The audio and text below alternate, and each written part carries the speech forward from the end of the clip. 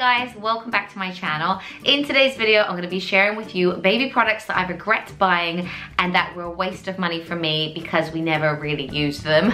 I decided to make this video the other day because I was going through my 15 month old baby's things and he is my third and final baby and there were things that I was throwing out or donating that I was thinking I never even used that. I didn't use it for all three of my babies. So these are things that I just feel were a waste of money for me. I know some people will love the things that I'm gonna talk about, but for me, they just didn't work at Um, so I thought I would share them with you because I'm always talking about things that you should buy for your baby. I've made lots of videos in the past like baby essentials, newborn essentials, baby must-haves, and toys my babies love. So I will link all of those videos down below. But then I thought maybe I should share with you the products that just really didn't work for us and just, you know, give you guys a heads up, save you some money. If you're new to my channel and this is the first video of mine that you're seeing, I would love for you to subscribe and stick around. I post three videos a week, mostly about motherhood and lifestyle, and I would love to have you. So yes, without further ado, let's get into it. So the first product that I regret buying is a wipe warmer, and I even feel silly saying that I bought that, but there is a reason behind it. All of my children were born in the winter months, and sometimes at night, those wipes are like ice cold, and then I'm, you know, wiping my newborn baby, and they would scream and they would hate it. So I decided to invest in a wipe warmer because I read so many good reviews about it on Amazon, but it just did not work for us. I, I bought it and I barely ever used it. I had an issue with having an electrical thing on the changing table. I don't know, for me it would really get to me. I suppose I could have moved it, but there was like a wire and it was electric. You had to remember to top it up with water so that the wipes would stay moist. And also when you went to do a baby change, you would then turn it on and sometimes the wipes weren't even warm enough, quick enough, if you know what I mean. So I found it much easier in the very early days to use warm water and like cotton pads. Um, so yes, I never actually ended up using the wipe warmer very much at all. Next product is one that I was given at my baby shower and being a mum of all boys you would think it would have been perfect but it is the Willy Wigwam or the Pee-Pee Teepee is also known as. It's basically this little triangle bit of material that you will put over your baby's bits when you're changing them. Boys notoriously wee everywhere when the air hits them when you're changing them. So the idea is that you put this over your baby's bits um, when you're changing them and that will sort of catch anyway. Um, but I used it a few times and it was just really fiddly. It was quite small and then you would have to wash it and it was so small that it would get like lost in a duvet when you washed it. Um, and it just didn't work for us. I found it much easier to use like cotton pads again or I used a baby washcloths a lot so I would just put that on for my first son but by the second and third son I have seen so many like willies during changing I can tell what it looks like when it's about to wee and I would always be able to catch it with the nappy itself. Um, so yeah, I just think it was a waste of money. Definitely a funny one, like if you know someone's having a boy, it's quite a quirky little gift. The next product was a weaning product and we really didn't get on with it. It was basically like this little mesh bag that was attached to a handle and the idea of it was that you could put like a banana in the mesh bag or blueberries or something like that and your baby could sit there holding the handle and like just getting bits of the mush through the mesh um, so that they wouldn't choke, etc. And I thought, well, that'd be great for them to hold onto it and then also like less worry of choking. But to be honest, it would get so messy. I used it twice and it was so difficult to clean. I put it in the dishwasher, I put it in the washing machine as well on like a hot wash. The banana and stuff just would not come off of the mesh and it would be stained and it would just be gross. And then I was worried about how many germs were on like the mesh baggy bit. So then I ended up chucking it and I was like, well, that was a waste of five pounds. So I think it's much better to just give your baby a banana or blueberries, sit right there with them, making sure they're not gonna choke or cut it up or mash it up, whatever makes you feel more comfortable. The next thing that you really do not need is newborn shoes or baby shoes in general for that matter. When I was pregnant with my first, I bought these little adorable like Converse in the smallest size you could possibly get them in. I bought little Vans I bought, there's something about baby shoes that are just so adorable and cute. And I even had them in my maternity bump shoot and everything. They're just so cute. But babies don't even walk at that age and they just look really uncomfortable when you put shoes on them. All they're gonna do is sit in the car seat or the buggy or like be on the floor. They really do not need shoes and I just think they look so uncomfortable. It was just a complete waste of money. In line with shoes, I would also not waste your money on expensive or designer um, and fiddly baby clothes. When I was pregnant with my first Fraser, we knew it was a boy and we bought little tiny newborn jeans, little newborn shirts, little like three month old shirts and like ties and like, oh, we just went to town with it. But it was a complete waste of money. You would put it on your baby once, it would be really fiddly. I think anything that has to go over their head as well is just like a no-no, they hate it. Um, and also when Fraser was tiny and he would wear a shirt, he would keep getting the, the collar of his shirts like on his like face and then he would try and like breastfeed the shirt and like oh it was just horrendous. It was a complete waste of money. And then as soon as I became a mum I was like oh my gosh I just want him in a baby grow. The next thing I wouldn't waste your money on is beige or neutral toys. Like when we were pregnant with Fraser, we were like, we only want toys that match our decor. And we ended up buying this really beige and white playmat, some beige and white and wooden toys and things like that.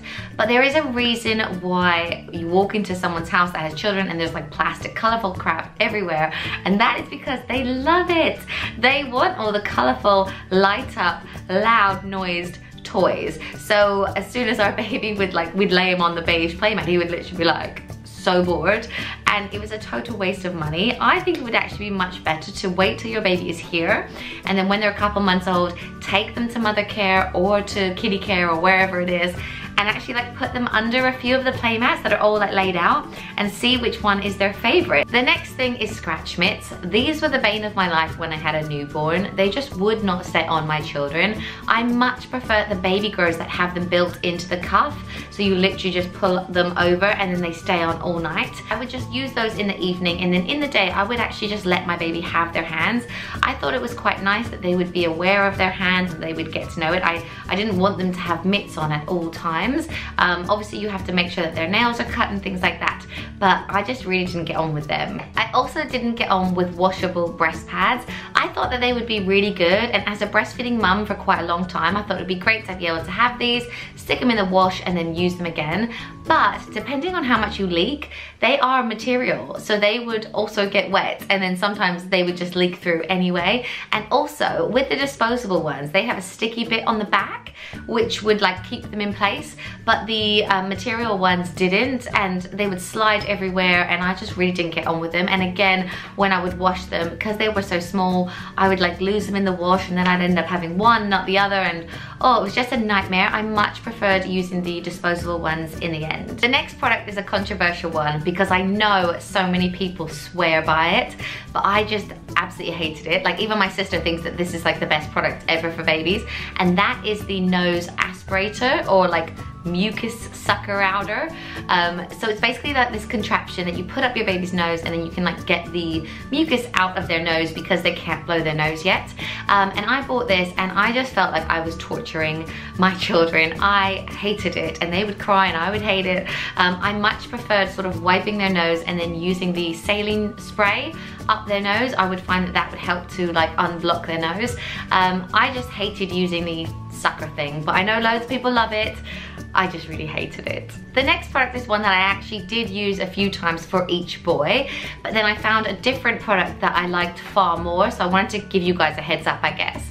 And it is the Jolly Jumper, which is basically a thing that hangs in your doorway, and then you can put your baby into it. It has like a harness, and then they can jump around in the doorway. So I bought this because I thought it would be great for when I'm trying to like wash my face or, you know, get ready in the morning. But you have to kind of be right there with them jumping just so you can watch them because their heads are so heavy they kind of swing into the door frame and once my baby like actually hit his head on the door frame and I actually think it was quite dangerous and then I bought the jumperoo which I much prefer because you get the same kind of thing you stick them in it they can jump around and go crazy but you don't have to worry about them hitting their heads and I found that my babies were much happier in the jumperoo than the Jolly Jumper. Another product that we never ended up using for all three of our children was a dummy or a pacifier and I got given quite a few at my baby shower and they've kind of just sat around and then I've ended up chucking them. None of my babies really wanted to take them um, and none of my babies were really that fussy, luckily. Um, or I think I became a bit of a human dummy, like I would just put them on the boob if they were upset. Um, so yeah, I would maybe wait to purchase dummies until your baby is actually here and then see if they need it or want it. Um, I don't know if you have to buy them before they're even here. The next product that I feel you may not need is a specific changing table. These can be quite expensive and my babies were so wriggly, they would only really be on them for a few months and then I would kind of change them on the floor because it was safer. Or if I was downstairs with them in the day, I would just change them downstairs. I wouldn't make a special trip up to the um, changing table. So I don't think you specifically need a changing table. Just any kind of dresser will work or, you know, changing mat on the floor, that's absolutely fine. So just don't feel like, you know, you need the whole nursery set. And similarly, I don't think you need to spend loads of money on a special or specific breastfeeding chair. You can get amazing rocking, sliding chairs with foot foots, rests, and all kinds of stuff on it. And if that's what you want, then that is absolutely fine. Like, they look amazing. But we didn't have loads of money for that, so we ended up getting a supportive chair from Ikea. It was about 150 pounds, um, and I really like it. Just make sure when you're buying a breastfeeding chair that your elbows sit well on the arms and that it is quite nice and supportive. The next item that was a complete waste of money for us was a Moses basket. My children must be super tall or something because they would only ever last in that for about six to eight weeks. Like it was such a short amount of time. And this third time round, we used the Sleepyhead and that was much better. Like he was in it for longer and it was really, really comfy and cozy. So yeah, I wouldn't waste money on a Moses basket unless, you know, that's something that you really want. I feel like I'm contradicting myself here because I've just said that I loved the baby sleepy head so much and I do. It's in my newborn essentials. I love it.